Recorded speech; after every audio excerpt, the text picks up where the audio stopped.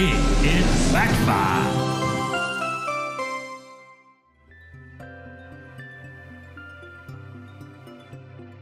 Sir David Attenborough is famous for his nature documentaries, which have spanned the globe and amazed us with unusual animals and a peek into their lives.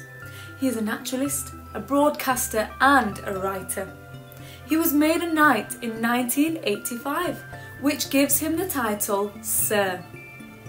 This was for his documentaries on the natural world and changing climates. In 2005, he was knighted again. David Attenborough was born in 1926 in London. His fascination with nature started young with collecting fossils and eggs and selling newts to University College Leicester, where he lived as a child. In World War II, his family adopted two Jewish girls.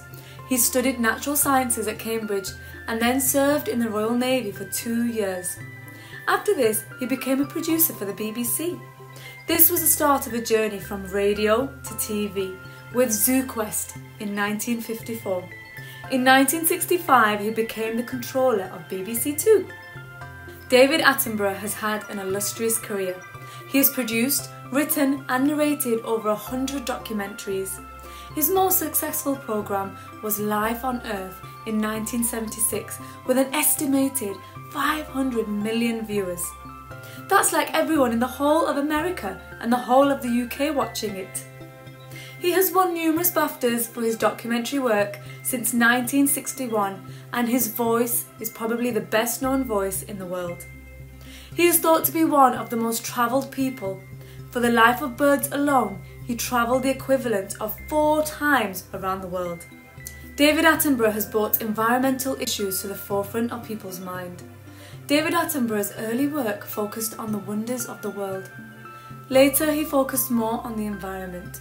He urges people to restore biodiversity via renewable energy, eating less meat and creating protected natural areas. As he says, are we happy to suppose that our grandchildren may never be able to see an elephant except in a book? Did you know Sir David has had lots of things named after him? This is a carnivorous plant and it eats animals as large as rats. This is a black-eyed satyr butterfly. This is a beetle. David Attenborough has led the field of nature documentaries and environmental awareness. He believes we should leave the world in a better place than we found it. We think he has done. What do you think?